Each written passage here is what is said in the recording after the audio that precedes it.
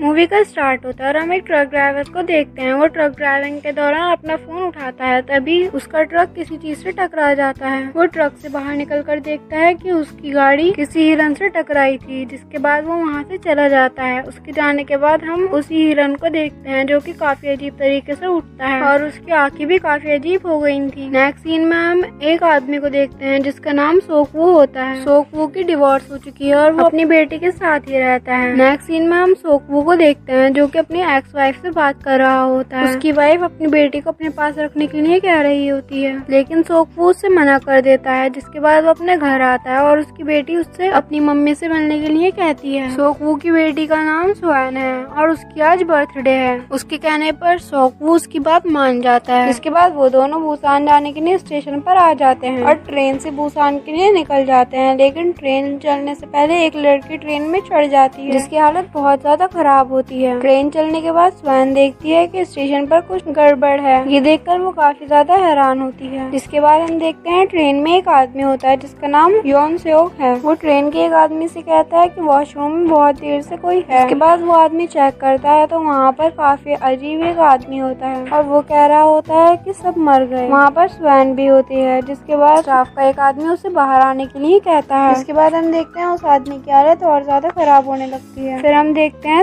Swan washroom जाने लगती है, जहाँ पर उसे एक आदमी मिलता है जिसका नाम सैंग है। फिर हम टीवी में एक न्यूज़ देखते हैं, जिसमें बताया जा रहा होता है कि पूरे मुल्क के हालात काफ़ी ज़्यादा खराब हैं। दूसरी तरफ़ हम एक स्टाफ मेंबर को देखते हैं, जो उस लड़की की हालत खराब होने पर कंट्रोल टीम को फ़ोन करती है, लेकिन तभी वो लड़की काफ़ी ज़्यादा अजीब तरीके से उठ जाती है और वो काफ़ी ज़्यादा डरावनी लग रही होती है। वो उस पर हमला करते हुए बास्केटबॉल की टीम वाले केबिन में आ जाती है और उसे काटने लगती है। ये सब देखकर वहाँ पर सभी लोग काफ़ी ज़्यादा डर जाते हैं। असल में ये लड़की एक जॉम्बी बन गई थी और उसके काटने से स्टाफ की मेंबर भी जॉम्बी बन जाती है, जिसके बाद वो दोनों मिलकर सब पर हमला करने लगती हैं और सब लोग वहाँ से अपनी जान बचाकर भागने लगते हैं। लेकिन जॉम्बीज उनका पीछा नहीं छोड़ते और और लोगों पर वो हमला करते जा रहे होते हैं, जिससे और लोग भी जॉम्बीज बन रहे होते हैं। ये देख देखकर सोकू काफ़ी ज़्यादा डर जाता है और वो स्वैन को लेकर वहाँ से भागने लगता है। लेकिन बहुत सारे जॉम्बीज उसका पीछा करने लगते हैं। दूसरी तरफ़ सैंग ये सब देखकर काफ़ी ज़्यादा हैरान होता है और उसकी बीवी भी उसके साथ होती है। तभी उन लोगों पर एक जॉम्बी हमला करने वाला होता है, लेकिन सैंग उसे धक्का देकर वॉशरूम में घुसा देता है और जॉम्बी को वहीं बंद कर देता है। जिसके बाद वो भागते हुए एक दूसरे केबिन में आ जाते हैं, लेकिन वहाँ पर जॉम्बीज उस दरवाजे को तोड़ने की कोशिश कर रहे होते हैं। इसलिए उस केबिन के लोग वहाँ पर न्यूज़ चिपका देते हैं, ताकि जॉम्बीज उन्हें देख ना पाए। सभी लोग ये देखकर काफ़ी ज़्यादा हैरान हो रहे होते हैं, तभी कंट्रोल रूम से वहाँ पर एक अनाउंसमेंट होती है कि जॉम्बीज की वजह से ये ट्रेन अगले स्टेशन पर नहीं रुकेगी। इसके बाद एक आदमी कंट्रोल रूम से बात करके ट्रेन नेक्स्ट स्टेशन पर रोकने के लिए कहता है। लेकिन जब ट्रेन दूसरे स्टेशन पर पहुँचती है तो वहाँ का डरावना मंजर देखकर सभी लोग काफ़ी ज़्यादा डर जाते हैं। जिसके बाद हम देखते हैं कि सभी लोग न्यूज़ देख रहे होते हैं। जिस न्यूज़ में बताया जा रहा होता है कि एक वायरस से सभी लोग जॉम्बे बनकर एक दूसरे को खा रहे हैं। जिस वजह से पूरे मुल्क में जॉम्बीज ही जॉम्बीज भरे हुए हैं। जिसके बाद कंट्रोल रूम से एक और अनाउंसमेंट होती है, जिस अनाउंसमेंट में बताया जाता है कि ये ट्रेन स्टेशन पर रुकेगी। दूसरी तरफ़ हम देखते हैं स्वैन सैंग और संग की दोस्ती हो जाती है, जिसके बाद हम देखते हैं ट्रेन एक स्टेशन पर रुक जाती है, जहाँ पर बिल्कुल ही सुनसान होता है और सभी लोग काफ़ी ज़्यादा डरे हुए होते हैं। ट्रेन से उतरने के बाद एक आदमी ट्रेन के ड्राइवर से कहता है कि, आर्मी कहाँ है? ट्रेन का ड्राइवर कहता है कि, मुझे नहीं पता। दूसरी तरफ़ बाकी लोग भी बाहर जा रहे होते हैं, लेकिन वो देखते हैं आर्मी ऑफिसर्स भी जॉम्बी बन चुके होते हैं और सारी जॉम्बीज उन लोगों पर हमला करने के लिए आने लगते हैं। एक जॉम्बी स्वैन पर आकर हमला करने ही वाला होता है तभी सैंग आकर उसे बचा लेता है। और संग स्वैन को लेकर वहाँ से भागने लगती है जिसके बाद हम देखते हैं एक जॉम्बी सोकू पर भी हमला करने लगता है लेकिन वो अपने आप को बचा लेता है। जिसके बाद वो सब दरवाजे को बंद करके जॉम्बीज को अंदर आने से रोक लेते हैं और ट्रेन में जाने लगते हैं लेकिन तभी जॉम्बीज विंडोज़ तोड़कर उनके पीछे आने लगते हैं। दूसरी तरफ़ सैंग और सोकू वहाँ पर जॉम्बीज को रोकने की कोशिश कर रहे होते हैं लेकिन वहाँ का दरवाज़ा भी टूट जाता है। उसके बाद वो लोग वहाँ से भागने लगते हैं। दूसरी तरफ़ ट्रेन में योनसो के स्टाफ पर प्रेशर देता है कि ये लोग वहाँ से ट्रेन को निकाल लें। जिसके बाद ट्रेन वहाँ से जाने लगती है। तभी ये लोग भागते हुए ट्रेन में चढ़ जाते हैं, लेकिन सैंग पीछे रह जाता है और वो जॉम्बी से फाइट करने लगता है। जिसके बाद वो ट्रेन पर चढ़ने में कामयाब हो जाता है। जिसके बाद हम देखते हैं ट्रेन का ड्राइवर कंट्रोल रूम में फ़ोन करके पूछता है कि क्या भूसान सेफ़ है? तो कंट्रोल रूम से उसे पता चलता है कि भूसान सेफ़ है। जिसके बाद हम देखते हैं जहाँ पर संग और स्वैन होते हैं, वहाँ पर काफ़ी ज़्यादा जॉम्बी जॉम्बीज होते हैं। और वो उन तक पहुँचने की पूरी कोशिश कर रहे होते हैं। जिसके बाद हम देखते हैं सैंग स्वैन से फ़ोन पर बात करता है। जिसके बाद स्वैन उन लोगों से हेल्प मांगती है। और कहती है कि हम बाथरूम में छुपे हुए हैं और जॉम्बीज हम तक पहुँचने की पूरी कोशिश कर रहे हैं। जिसके बाद वो लोग प्लान बनाते हैं कि जॉम्बीज से कैसे बचा जाए। जिसके बाद वो लोग तेज़ी से आगे आने लगते हैं और जॉम्बीज को मारकर आगे बढ़ने लगते हैं। जॉम्बीज उन लोगों पर हमला करते हैं लेकिन वो लोग जॉम्बीज को मारते हैं। जिसके बाद हम देखते हैं ट्रेन एक टनल में चली जाती है और काफ़ी ज़्यादा अंधेरा हो जाता है। टनल में जाते ही जॉम्बीज उन पर हमला करना बंद कर देते हैं, जिससे इन लोगों को समझ आ जाता है कि जॉम्बीज को अंधेरे में नहीं दिखता। इसी चीज़ का फ़ायदा उठाते हुए वो स्वयं और संग तक पहुँच जाते हैं और तभी वहाँ पर रोशनी हो जाती है। तभी वो लोग एक दूसरे बाथरूम में छुप जाते हैं, जिसके बाद सोकू गूगल मैप के ज़रिए उन्हें बताता है कि दो मिनट बाद एक और टनल आएगा। इसके बाद वो लोग वहाँ से निकलने के लिए तैयार हो जाते हैं और अंधेरा होते ही वो वहाँ से निकल जाते हैं और उस केबिन की तरफ़ जाने लगते हैं, जहाँ पर बाकी लोग होते हैं। और उस केबिन में यौन सोक भी होता है। वो सब लोगों से कहता है कि हो सकता है इन लोगों को भी वायरस लग गया हो, इसलिए हम इन लोगों को अंदर नहीं आने दे सकते। यौन सोक की बात मानकर सभी लोग वहाँ का दरवाज़ा बंद कर देते हैं और वो लोग पीछे ही फंस जाते हैं, जिसके बाद सोको और सैंग जॉम्बीज को रोकने की कोशिश करते हैं। जॉम्बीज दरवाज़ा तोड़ने की कोशिश कर रहे होते हैं, लेकिन वो लोग भी दूसरी तरफ़ जाने की कोशिश कर रहे होते हैं। तभी एक जॉम्बी सैंग को काट लेती है और दूसरी तरफ़ दरवाज़ा भी टूट जाता है। लेकिन दूसरे केबिन के लोग उन्हें अंदर आने नहीं दे रहे होते हैं। जिसके बाद सैंग सोकू से कहता है कि तुम इन लोगों को उधर लेकर जाओ। इतने में जॉम्बीज को रोकने की कोशिश करता हूँ। सोकू वहाँ से जाने के लिए नहीं मानता, लेकिन उसे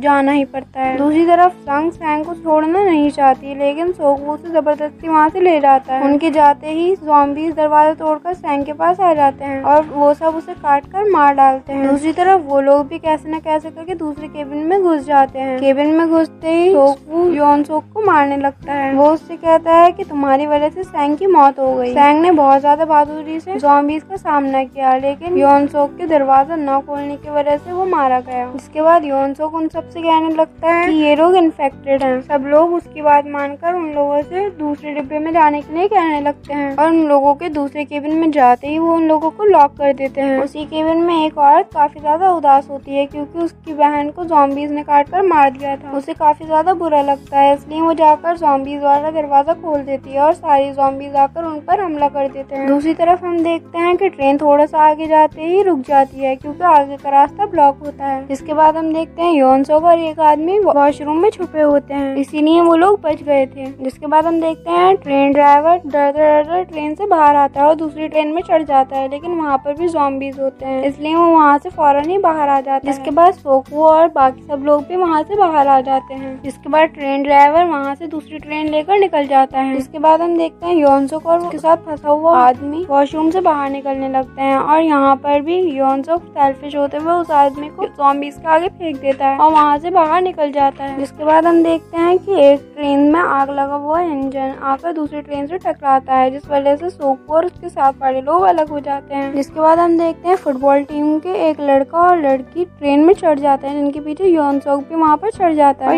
योनसोक यहाँ पर भी अपनी सेल्फिशनेस दिखाते हुए उस लड़की को जॉम्बीज के आगे फेंक देता है। उस लड़की को देखकर वो लड़का रो रहा होता है, तभी वो लड़की उस लड़के को काट लेती है। दूसरी तरफ़ हम देखते हैं सोकू और बाकी लोग ट्रेन एक्सीडेंट से बच जाते हैं और ट्रेन के नीचे फंस जाते हैं। और तभी वहाँ पर ट्रेन ड्राइवर दूसरी ट्रेन लेकर आ जाता है और उन लोगों को ढूँढने लगता है। तभी वहाँ पर योनसोक आ जाता है। ट्रेन ड्राइवर उसे देखकर उसे बचाने के लिए आता है। योनसोक फिर से एक बार ट्रेन ड्राइवर को जॉम्बीज के आगे फेंक देता है। जिसके बाद हम देखते हैं सोकू किसी तरह वहाँ से निकलता है और उन लोगों को लेकर वहाँ से भागने लगता है। उनके पीछे काफ़ी ज़्यादा जॉम्बीज भी आ रहे होते हैं। जिसके बाद वो बहुत मुश्किल से ट्रेन में चढ़ जाते हैं और जॉम्बीज भी उस ट्रेन में चढ़ने की कोशिश कर रहे होते हैं। सोकू उन्हें गिराने की कोशिश करता है और वो इस कोशिश में कामयाब भी हो जाता है। जिसके बाद वो केबिन में जाने लगते हैं। वहाँ पर यौन सोक था और वो एक जॉम्बी बन चुका था। वो भी पूरी तरह से जॉम्बी नहीं बना था इसलिए वो सोकू से कहता है कि मुझे घर जाना है और मेरी माँ मेरा घर पर इंतज़ार कर रही है। इसके बाद सोकू से कहता है कि तुम इन्फेक्टेड हो। ये सुनकर वो सोकू पर हमला करने लगता है। सोकू से बचने की काफ़ी ज़्यादा कोशिश करता है लेकिन योन सोकू उसे काट लेता है। जिसके बाद सोकू योन सोक को वहाँ से फेंक देता है और सोकू समझ जाता है कि वो भी अब एक जॉम्बी बन जाएगा। जिसके बाद वो संग और स्वैन को ड्राइविंग केबिन में लेकर आता है और उन दोनों से कहता है की जब कोई खतरा नहीं हो तो ट्रेन को रोक देना।